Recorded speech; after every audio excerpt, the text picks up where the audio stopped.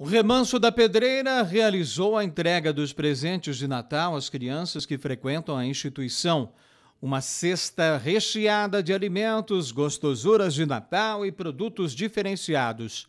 Cláudia Mor do Remanso da Pedreira disse que a ação foi possível graças à ajuda da comunidade. Mesmo com todo o cuidado, mesmo com toda a atenção com as crianças, a gente resolveu fazer essa ação de Natal, que não se limitou apenas no presente, sim nos alimentos para as famílias, né? Para que eles tenham um Natal é, recheado de gostosuras, né? Não só alimentos mesmo.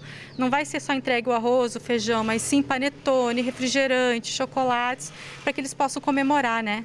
E olha, como sempre, tudo aqui no Remanso da Pedreira acontece graças ao apoio da comunidade. Então serão 68 famílias beneficiadas com uma recheada é, cesta de Natal, mas assim, das 100 crianças que são atendidas diretamente pelo Remanso, nesse Natal, essa cesta básica, os presentes, vão beneficiar mais de 400 crianças, porque todos os membros da família vão ser beneficiados pela ação possibilitada pelo apoio da comunidade.